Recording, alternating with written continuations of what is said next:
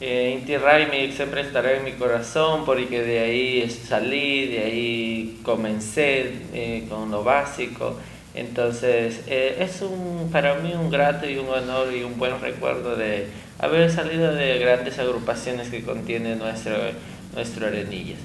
Eh, sí, también como lo mencionó, he sido coreógrafo en el Colegio Bachillerato Arenillas, me dieron la oportunidad de, de, de de ser el coreógrafo en, las, los clubes que existen en el, colegio, y no solo en el colegio, en todas las instituciones. Y he sido también en el colegio del Colegio Palmares, que no recuerdo bien el nombre, eh, durante más de un año entero que estuve ahí, igualmente con el club.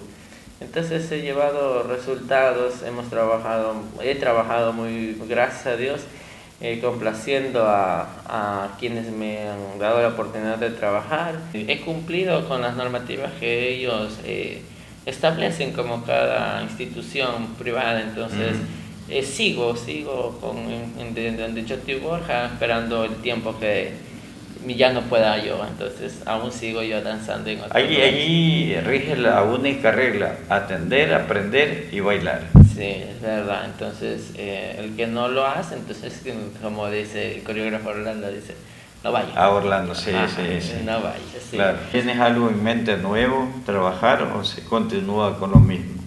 Pero yo soy de las personas que, que eh, conoce las festividades de arenillas, o sea, las, las que más eh, he salido, porque tampoco es que he estado en todo lado entonces, eh, ya tengo una idea en el que quiero hacer para el noviembre.